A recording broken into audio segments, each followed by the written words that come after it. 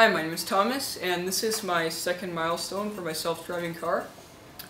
And uh, my second milestone was to have the Raspberry Pi communicate with the Arduino. Uh, and previously, for my uh, first milestone, I connected two potentiometers to, uh, to the Arduino, and I was controlling the steering uh, and the throttle with those. But the Arduino is only really capable of relatively simple tasks, uh, so the Arduino is just interfacing with the car, and then I'm going to run the self-driving program on the Raspberry Pi. And I also wired everything up to run off of a power bank on the car. Unfortunately, this milestone took me the better part of two weeks to complete because interfacing the Raspberry Pi and the Arduino was a huge pain in it, uh, and I kept running into problems.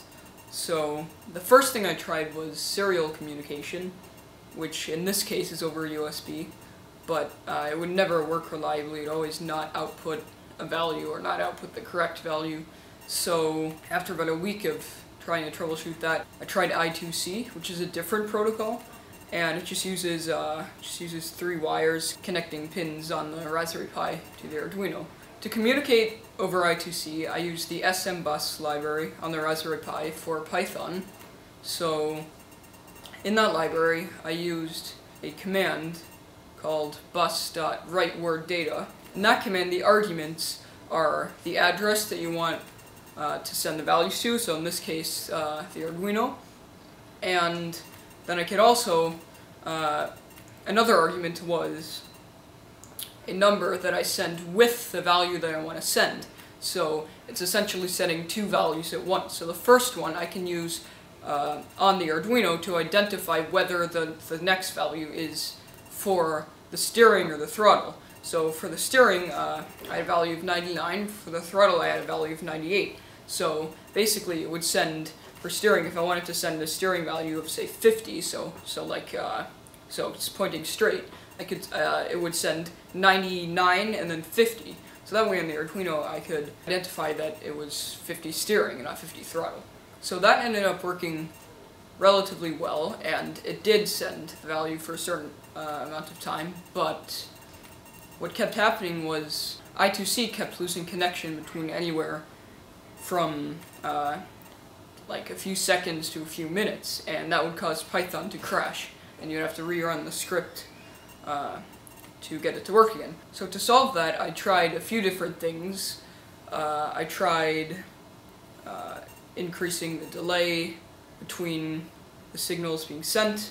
I tried looking for electrical noise with the oscilloscope uh, in the connection.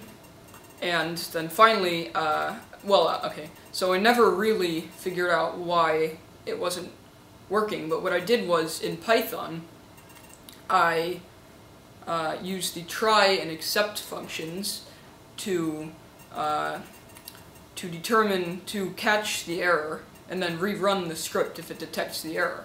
So once I got the Raspberry Pi to send a value to the Arduino, I just set up a, a quick script that would detect when uh, uh, you pressed uh, keys on the keyboard on, on the Raspberry Pi.